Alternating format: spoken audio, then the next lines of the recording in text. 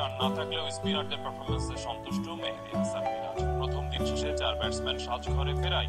নতুন দিনে যত দ্রুত সম্ভব শ্রীলঙ্কাকে অল আউট করতে চায় বাংলাদেশ। অন্যদিকে ইনিংসের শুরুতেই জীবন পেয়ে দিন শেষে একশো ছেষট্টি রানে অপরাজিত কুশল মেন্ডিস নিজের পারফরমেন্সে বেশ সন্তুষ্ট।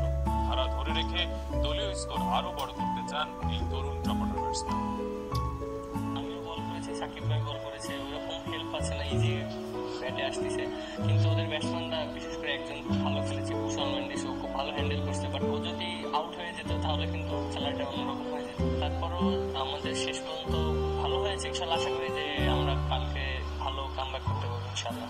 মার্টিনিং একবার এক্সাইটেড আছে মামা কিন্তু আমি সত্যিই অবাক হয়েছি। একই সঙ্গে ভাগ্যবানও ওটা বাজে শট খেলেছিলাম। তবে সুযোগ পাওয়ার পর চেষ্টা করেছি দলে অবদান রাখার জন্য। থাকার কারণে প্রথম তাকে নিয়ে বেশ সমালোচনা থাকলেও গত দশ বছর টাইগারদের উইকেট রক্ষকের সার্ভিস দিয়েছেন খুশি। দায়িত্ব হারালেও এখনও ব্যাটিং এ গভীর মনোযোগ দিতে চান মিস্টার ডিপেন্ডেবল যে শ্রীলঙ্কা একসময় খালেদ মাসুদ পাইলটের কাছে দায়িত্ব দিয়েছিলেন এবার সেই ব্যাটন গেল লিটন কুমার দাসের কাছে। অবশ্যই ডিফারেন্ট ফিলিং দিবে। কারণ আমরা যেখানে ব্যাট পরে গ্লাভস পরে দাঁড়াতে পারি সেখানে আপনি খালি হাতে হারবেন গল টেস্টের নিদারুণ বাস্তবতা।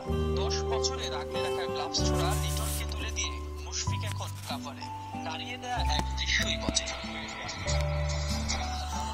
যেখানে হারানোর আগতি সেখানেই অর্জনের সুখস্মৃতি। দশ বছর আগে দু হাজার সাত সালে এই শ্রীলঙ্কাতেই উইকেট রক্ষকের দায়িত্ব পান তরুণ মুশফিক। পাইলটের কাছ থেকে পাওয়া সেবারের সেই ব্যাটন এবার লিটনের কাছে ছাড়তে হলো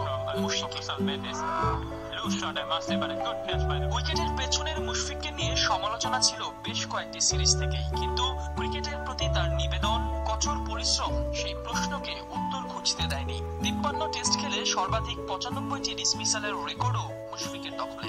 পাইলটকে ছাড়িয়েছেন চুরাশিটি ক্যাচ ও এগারোটি স্টাম্পিং ব্যবসাতে তার সামর্থ্য নিয়ে প্রশ্ন যতই থাকুক, এটি মুশফিকের ভালোবাসার জায়গা। স্বেচ্ছায় কিপিং যে ছাড়বেন না তা বলেছেন বহুবার। এখন দেখার যা ছেড়েছেন, তা কি একেবারেই ছেড়েছেন? সবুজ